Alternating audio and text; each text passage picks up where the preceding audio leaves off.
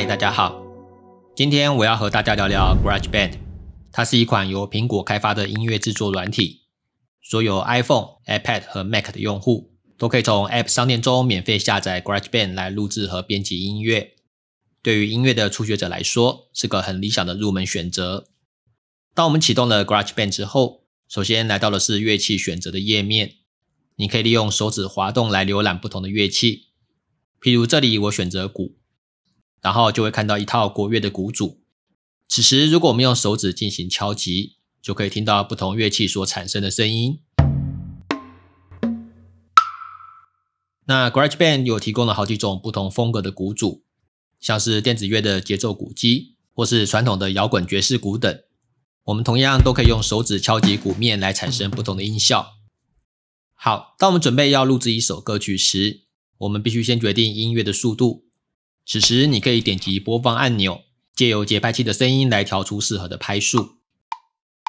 数值越大，则音乐的速度会越快。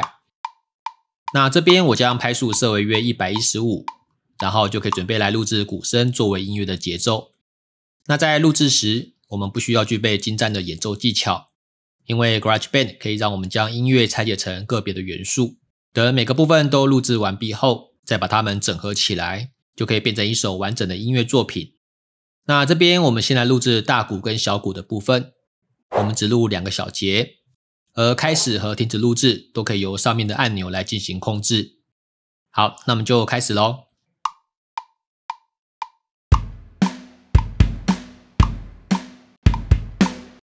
OK，这样子我们就录好了第一段。如果你觉得录得不够满意，你可以用手指点击音轨来删除这个片段。或者你也可以用还原按钮返回到上一个步骤，然后重录一次。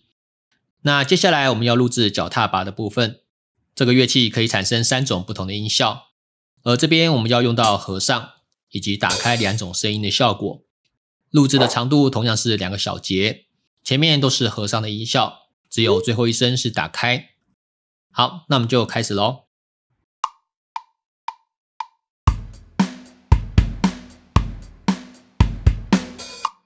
OK，那这个录好的片段，我们可以把它当成一个范本或模板。只要从选单中启用循环乐段的功能，Grage Band 就会将这个乐段向后延伸。如此，我们就不用辛苦的去录制整首歌的节奏喽。好，如果你觉得使用这个方式来录制节奏仍有些麻烦，GarageBand 很贴心的还提供了一个虚拟鼓手的功能，它可以用拟真的方式替我们的音乐配上节奏。你可以依据自己的喜好选择不同的鼓手，而每个鼓手都有自己的鼓组和演奏风格。同时，我们还可以指定鼓手所使用的乐器。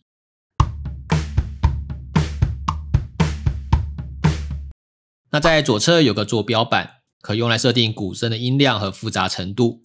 譬如这个是简单的版本，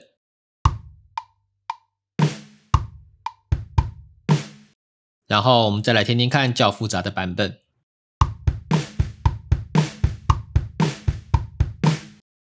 好，所以这首歌我们已经有了节奏的部分，呃，接下来我们要来新增其他的乐器。那这次我们来试试看吉他。吉他在 GarageBand 中有分成原声和电吉他两种类型。即使你完全没有弹奏吉他的经验也没有关系，因为 GarageBand 已经帮我们整理好所有常用的和弦。要弹奏时，你可以用手指由上而下拨动琴弦，或是由下而上。当然，你也可以快速的上下扫弦，来产生一种活泼的节奏感。除此之外，上面的和弦名称本身也是可以点击的，按下后就会立即产生悦耳的和弦音。那最后这里还有个有趣的小技巧，就是如果我们用手指压住吉他的左侧，再去拨动琴弦时，就会发出一种闷音的效果，可以让你的吉他演奏产生更多的音色变化哦。好，那在录制吉他伴奏之前，我们还要决定两件事。第一是要录制多长的时间？预设 GarageBand 是帮我们设定了八个小节的长度。如果要修改的话，我们可以在底部利用箭头按钮增加小节的数量，或者你也可以到上方启用自动功能。如此，当乐器演奏超出八小节时，总小节数就会自动增加。那第二是和弦的行进，这个部分除了借鉴其他的作品之外，你也可以依据音乐理论或是自己的灵感来决定和弦进展。当然，你也可以把这个问题直接询问现在当红的 ChatGPT，请 AI 人工智能给我们一些点子。比如这里我采用它给的第一个建议，也就是 C A minor D minor G。而由于目前我们已经有了爵士鼓的音轨，所以节拍器这里可以把它关掉，然后我们就可以开始来录制吉他的部分。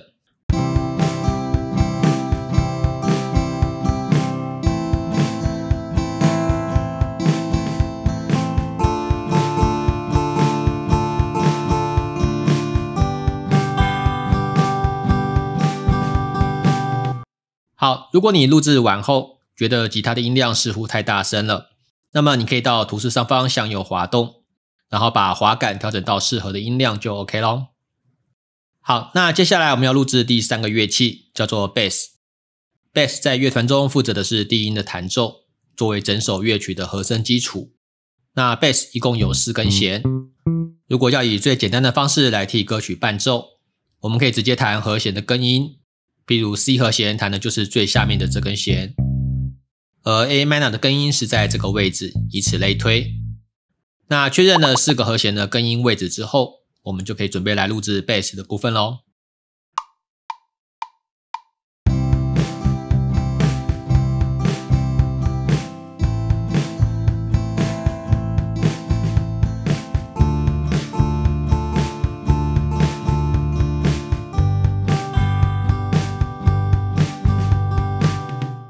OK，这首歌做到这边已经有了基本的雏形。那最后我们再来替大家加上人声。GarageBand 本身就具备了录音的功能，除了使用我们原本的声音之外，它还内建了一些有趣的变声特效，像是怪物的声音听起来是这个样子。你看起来很好吃的样子。另外，这个是机器人的声音。我是 ChatGPT。当然，使用 iPad 本身的录音功能，音质会有一定的局限。因此，有需要的话，你也可以考虑添购一些外接设备，像是 USB 麦克风或录音界面等。那这边我打算汇入一个录好的人声档，来测试一下整体演奏的效果。我切换到档案标签，在底部点击浏览来选取要汇入的音讯档，然后把这个档案拖移到目前的界面，变成新的音轨。那我们先来听一下这个音讯档的内容。我按下耳机图示，把其他音轨先设为静音。然后开始播放。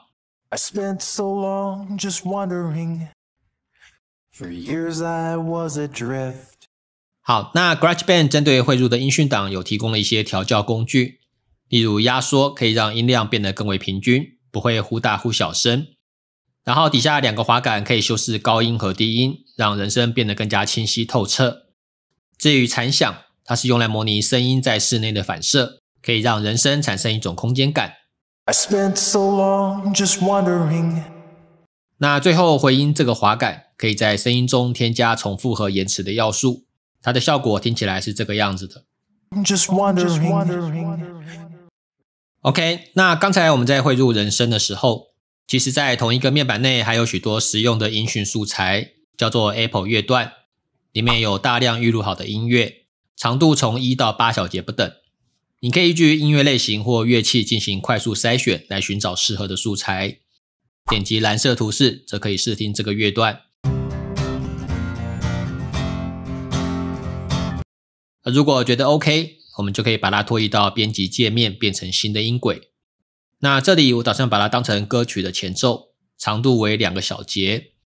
然后我用手指按住画面不放，拉出一个方框，将其他音轨向后移动。腾出这两个小节的空间。那先前我们有加入一个虚拟的鼓手，这里我们可以请他在前奏结束时来个简短的过门。不过这个过门不能影响到后面正常的节奏，所以我使用分割功能，将前面的片段独立出来，接着将它选取后，打开虚拟鼓手的界面，来把过门滑杆的比例提高。于是我们就可以来听一下整体播放的效果喽。I spent so long just wondering. For years I was adrift, directionless and wayward, lost like a swallow on a cliff. 好，那音乐做好后，如果要把它汇注成一般的音讯档，你可以对着专案按住不放，选择分享歌曲，再点击右上角的分享，就可以把它储存到 iCloud 云端硬碟，方便我们传送给其他人喽。OK，那做到这边，大家对于吉他、贝斯和鼓组的使用应该有了一些基本认识。但既然谈到了乐器，就不能不提到有“乐器之王”美誉的钢琴。那在这个界面底下是钢琴的琴键，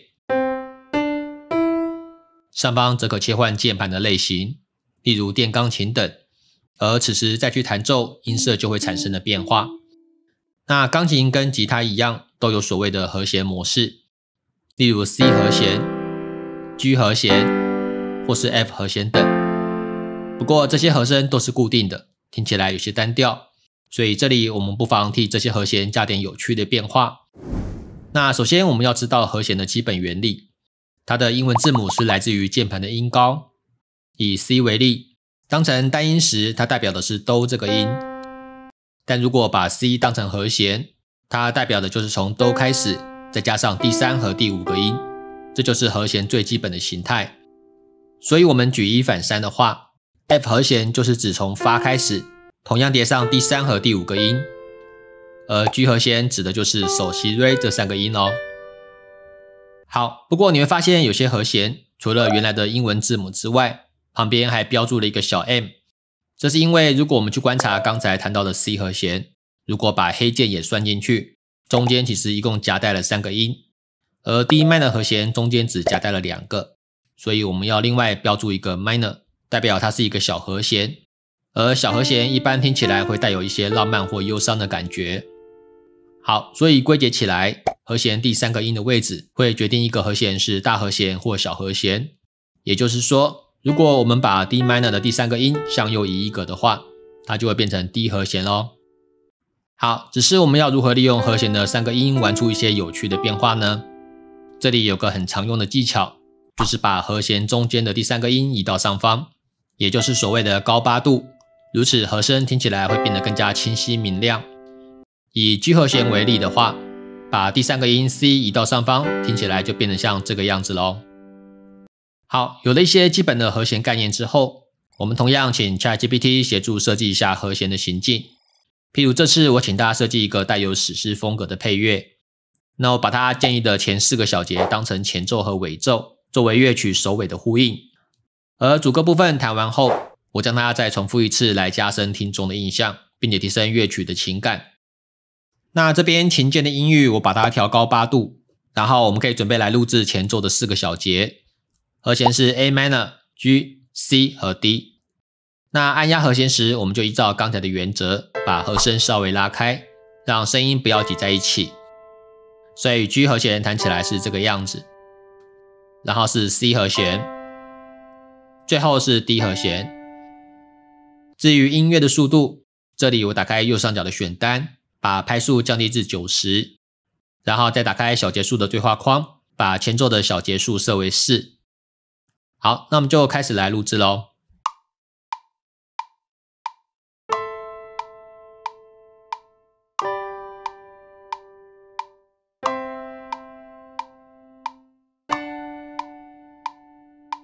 OK，当我们在录制音乐的过程中，几乎都会遇到一种情形，就是弹奏的音符并没有对准拍子。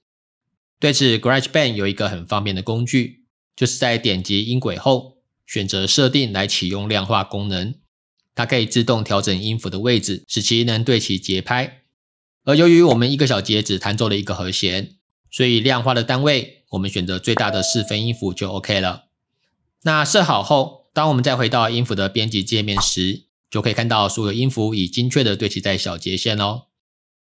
好，那在这个界面，其实我们可以对音符做很细微的编辑，譬如每个音符的长度，或是改变音高。因此，即使有弹错的音符，我们也都可以事后修正。另外，我们还可以调整按键的力度，使琴键的声音变得更为洪亮或柔和。好，那把这四个小节修饰到自己满意的程度后，我们就可以把它拷贝起来，到右上角点击加号来增加小节的数量，然后把这四个小节执行贴上，如此我们就完成了主歌前四小节和弦的部分。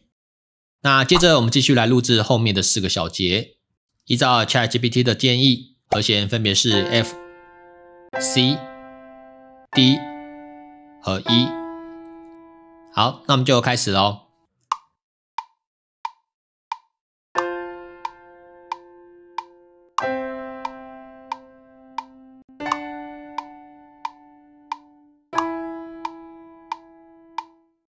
OK，接着我们来继续新增第二个音轨。这个音轨同样是用来录制钢琴的伴奏，不过这边我们要做点小变化。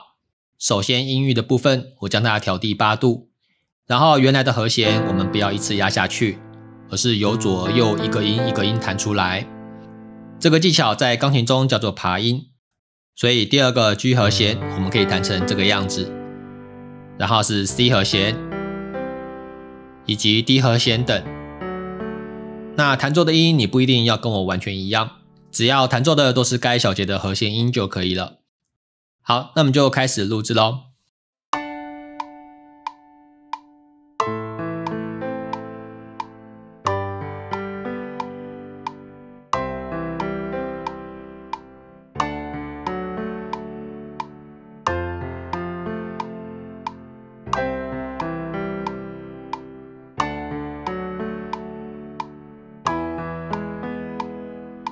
OK，爬音录完后，剩下的操作就非常简单了。我首先到右上角点击加号，把录好的八个小节复制一份来当成副歌的伴奏，而尾奏的部分则可从 A 段，也就是从前奏复制过去。所以整首歌的节奏目前看起来是这个样子。那接下来我们要加上弦乐的部分，这个弦乐我们可以直接用键盘来演奏。于是我点击中间的乐器图示。切换到合成衬底类别来启用好莱坞弦乐器，它的音色听起来是这个样子。那弦乐的音量我稍微做个调整，把它设为约五十 percent，然后弹奏的内容跟第一个音轨相同，同样是和弦的按压。那稍微练习过，觉得没有问题后，我们就可以准备来录制了。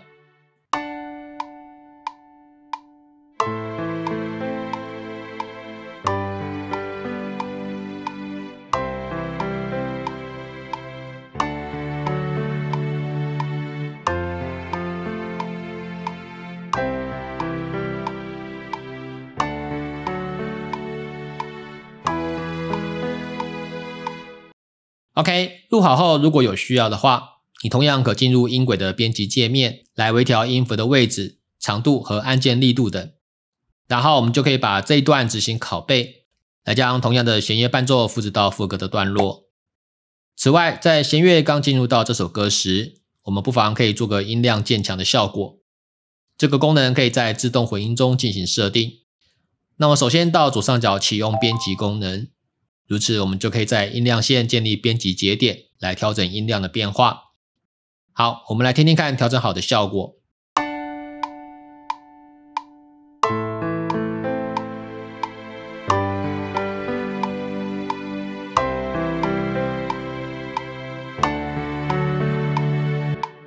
好，做到这边伴奏的部分就算是完成了。那最后我们要进入到主旋律的创作。使用的乐器同样是好莱坞弦乐器。由于目前这首歌使用的和弦几乎都是由白键组成，所以我们弹奏主旋律的时候也是以白键为主。弹奏的内容则可取决于自己的灵感与创意。好，那么就自由发挥一下，准备来录制主旋律的音轨喽。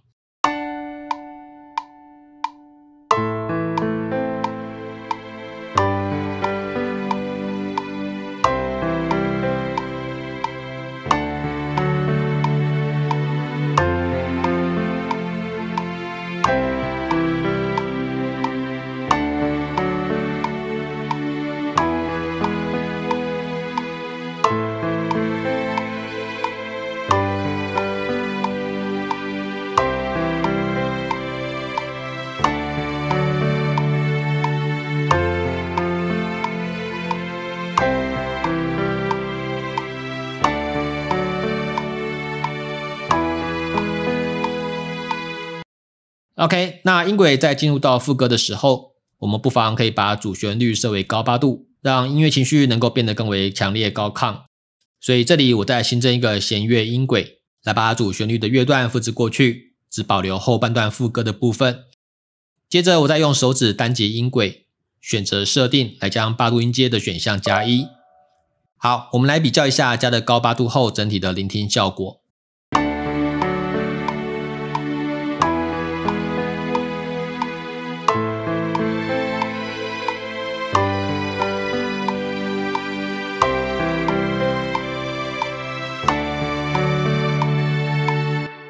OK，如果你想要把副歌的情绪再往上推一点的话，我们还可以替它加上一点节奏感。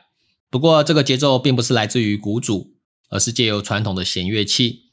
那 GarageBand 的弦乐器其实设计的非常有趣。如果我们在琴键上用手指滑动，可以产生圆滑的延音；如果用手指点击琴键，这个产生高低不同的拨奏效果。此外，在界面右侧有个自动弹奏的功能，启用后。GarageBand 会依据您点击的和弦自动进行演奏，总共有四种不同的模式。而左侧还可以选择演奏的风格，譬如选择现代的话，弹奏的效果是像这个样子。好，不过在使用自动弹奏来录之前，有一点要特别注意，就是我们这首曲子使用的是 D 和弦，而不是 D minor，因此我们得到右上角的设定选单。执行编辑和弦的指令，来把 D minor 改成 D major，然后我们就可以来录制弦乐的合奏喽。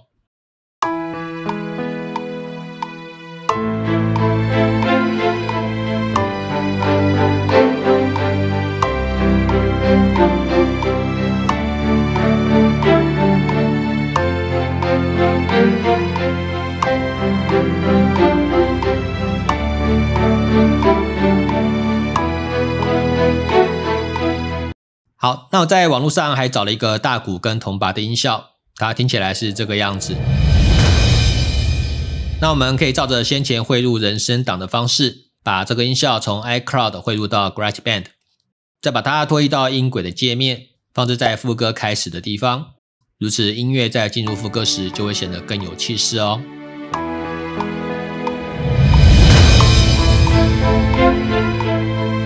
OK。最后，我们来替这首曲子做个简单的收尾。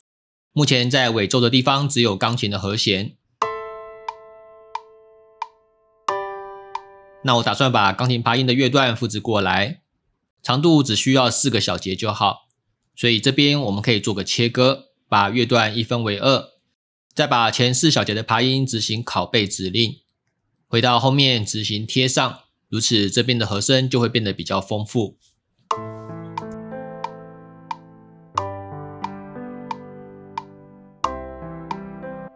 那终止时，我们可以用一个简单的和声来结束整首配乐。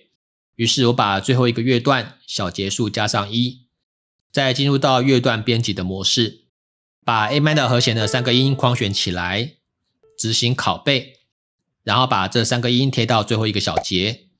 那这些音符你可以随心所欲的进行修改，譬如把原来的哆改成 C，让 A minor 的和声变得更为特别。此外，如果你在左上角启用了编辑功能，我们就可以在这个界面中直接输入音符，而不用仰赖钢琴的键盘。那我把原来同时出现的和声时间稍微错开，如此就可以产生一种类似爬音的效果喽。OK，那我们就来欣赏一下今天练习的成果吧。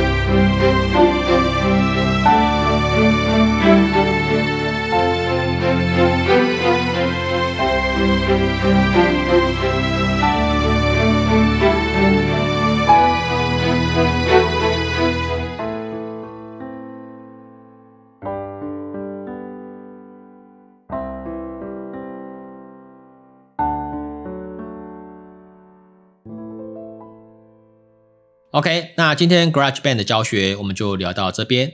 我们下回再见，拜拜。